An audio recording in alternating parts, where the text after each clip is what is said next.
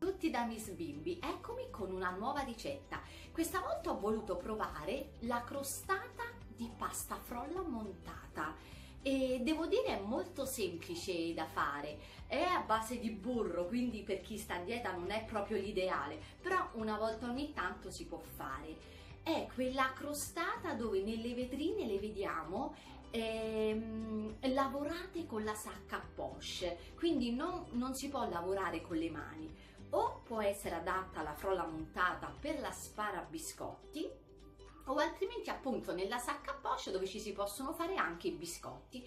E io invece ci ho fatto una bella crostata eh, alla marmellata di ciliegie. Devo dire veramente buona.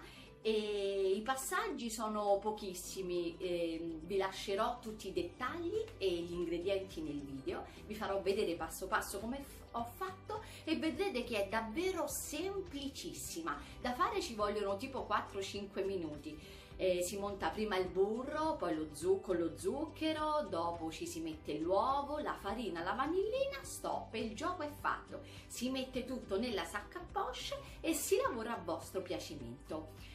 E, ehm, quindi vi lascio eh, la ricetta, eh, vi faccio vedere il procedimento passo passo come l'ho realizzata, spero vi piaccia, pollicino in su se vi piace. E mi raccomando vi ricordo che se volete sempre essere aggiornati iscrivetevi al mio canale cliccando la campanella così eh, sarete avvertite quando eh, posterò delle nuove eh, ricette. Intanto io vi lascio con la crostata, faccio una buona colazione e ci vediamo alla prossima ricetta. Miss Bimbi. Mmm!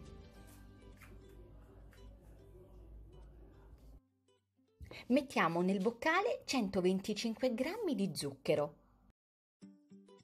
e frulliamo per 20 secondi alla velocità 10.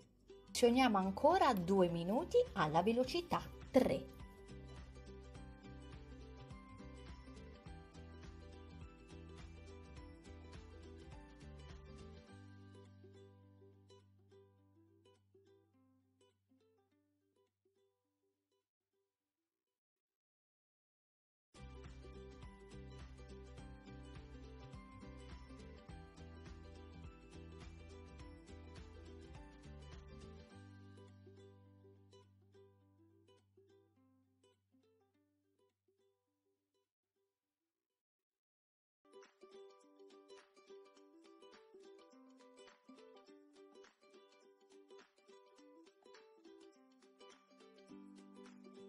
Terminata la forma, dobbiamo assolutamente metterla in frigorifero o in freezer. Mi raccomando, questo passaggio è importantissimo, altrimenti in forno rischieremo di perdere assolutamente tutta la forma. Quindi una volta ben indurita inforniamola a forno preriscaldato 180 gradi statico per circa 20 minuti.